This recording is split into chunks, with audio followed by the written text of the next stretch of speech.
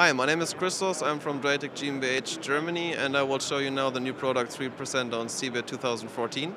We will start with the Vigor 130.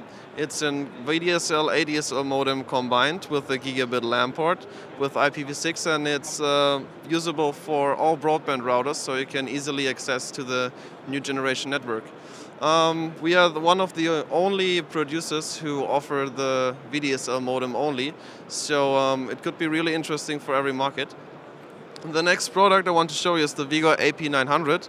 This device is an access point with 4 gigabit LAN ports also.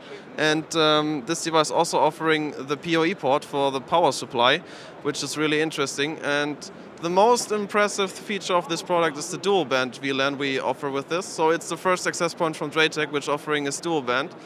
Um, also the VLAN tagging to yeah separate your network that nobody can access to another ID is integrated so you don't need anymore a router who's standing behind and make this stuff for you.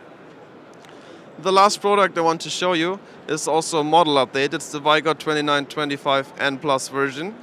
It got 5 gigabit LAN ports, so the connectivity is really high. You can use the two WAN ports to um, share your load of the network. And also this device got SSL VPN, so we want to introduce here uh, yeah, new version instead of PPTP. We offer here the SSL VPN. Also, it's IPv6 ready. I think that's really important. And also, I want to show you the new interface you got. So you got here directly, if you look on the new dashboard we offer, directly the overview of how many users are connected, which WAN port are used, is there any USB connection, VPN connection. So you got everything here in one short dashboard and also you can make a quick access to all needed system.